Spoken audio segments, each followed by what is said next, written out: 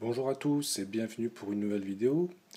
On continue un peu sur la même lignée que la dernière fois, à savoir euh, impression 3D mélangée à Arduino. Donc ici je vous présente un nouveau petit robot qui est disponible euh, ben, en téléchargement libre sur, euh, Thingiverse. Donc c'est un petit robot modulaire, hein. comme vous voyez ben, tout mignon, et euh, qui permet toujours de, bah, s'adonner à la, programmation euh, sous un bloc. Et ici, on a donc euh, un petit module que j'ai mis et qui concerne un, capteur à ultrasons et qui permettra de mesurer les distances. Donc je vais vous montrer comment on peut faire un robot qui évite les obstacles. Puis dans la suite de la vidéo, je vous montrerai comment prendre le contrôle de ce petit robot grâce à votre téléphone portable en lui rajoutant un petit module Bluetooth. Après avoir lancé MBlock et avoir pris soin d'installer la bibliothèque Adafruit qui permet de gérer le, shield moteur, on peut donc se faire un petit programme pour euh, faire éviter les obstacles. Alors on voudra que à chaque fois que le... Ça c'est pour la lecture euh, du senseur à ultrasons. Donc déjà, on va le configurer sur le pin 10 pour moi et à 5.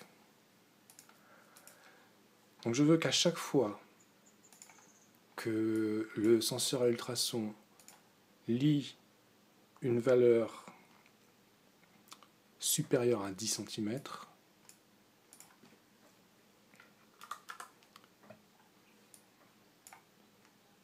donc je veux que tant que cette valeur est supérieure à 10 cm, il avance tout droit.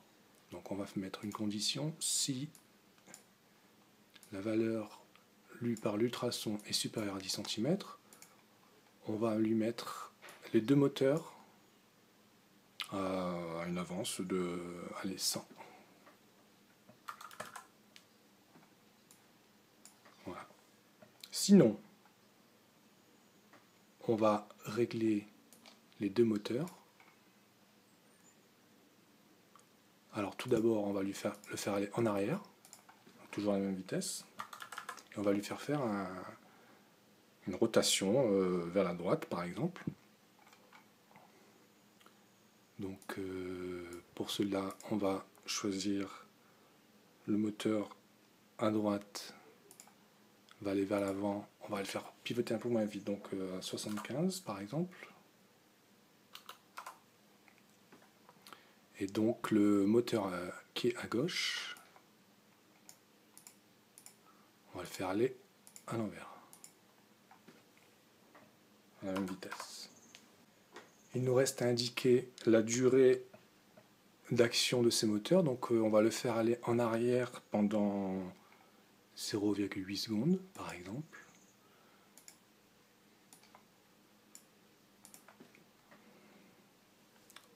0 8 secondes. Et pour la rotation, on va le faire faire une rotation qui va durer alors 0,3 euh, secondes. J'ai déjà fait quelques essais, hein, c'est en fonction du, temps que vous mettez, bah, il va faire euh, plus ou moins une rotation plus ou moins importante.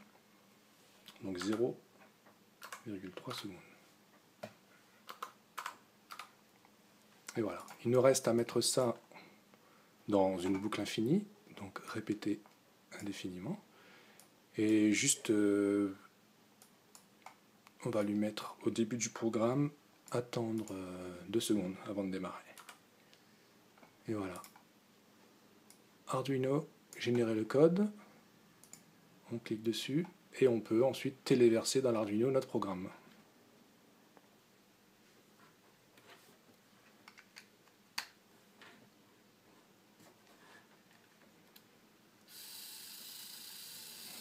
Vous voyez qu'il avance.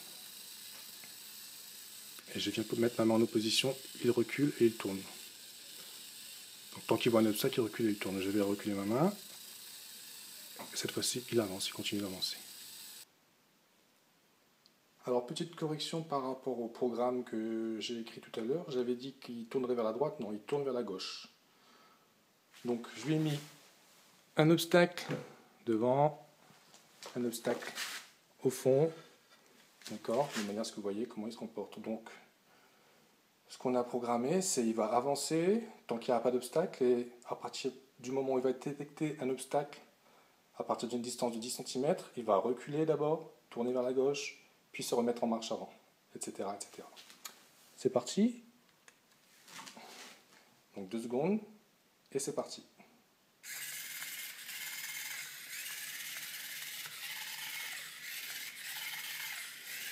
Donc là, pour l'instant, ce ne sont que des manœuvres d'évitement. Et voilà. Oups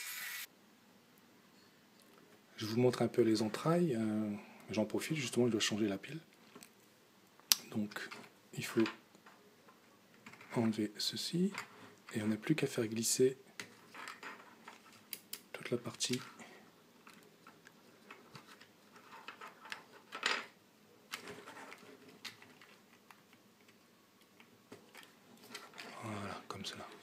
Vous l'intérieur est très simple. Vous avez un petit moteur ici, un autre petit moteur ici, et la pile par là. Bon, moi j'ai rajouté un interrupteur hein, pour que ce soit plus pratique. Euh, la modification que j'ai faite, j'en profite pour vous en parler aussi, c'est que d'origine, normalement, comme c'est censé être euh, un modèle sans vis, en fait on emboîte juste la roue et voilà, bon, c'est pas extra, c'est pas très précis. Donc moi, ce que j'ai fait, en fait, j'ai mis une, euh, une vis M5 sur laquelle j'ai enfilé des roulements. Et on a une roue libre beaucoup plus, beaucoup plus souple, beaucoup plus fluide. Avec euh, beaucoup moins de jeu aussi, parce que là, si vous voyez, il y a énormément de jeu je vous montrerai sur mon modèle. Pour ça, il suffit que je vous enlève une partie de la chaîne qui est simplement maintenue avec des petits bouts de filament. Voilà. Donc tout est imprimé, bien sûr. Hein. Voilà la chaîne. Et je vous montre. Vous voyez Et là, je n'ai pas de jeu. Puis l'autre roue, elle est branchée bien sûr sur le moteur. Alors, change de pile, hop, je vais juste enlever un côté, comme ceci.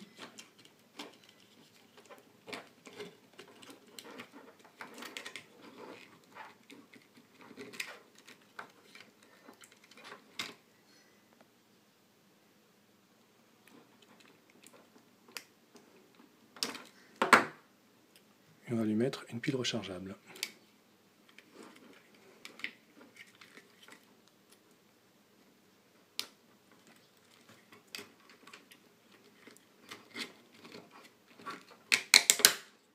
Plus qu'à remonter le tout. Alors je vais juste vous montrer euh, comment ça fonctionne euh, pour l'asservissement via un téléphone en mode Bluetooth. Donc je sélectionne mon module, j'allume mon robot, je le mets ici en contrôleur mode, voilà, et hop, avance, il recule, euh, topie d'un côté, de l'autre, voilà, etc., etc. Vous avez compris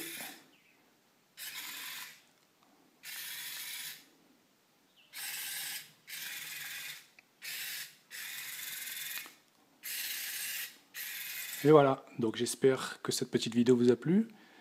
Ben, N'hésitez pas à me poser des questions si vous avez des problèmes. Et euh, je vous dis à bientôt pour une nouvelle vidéo.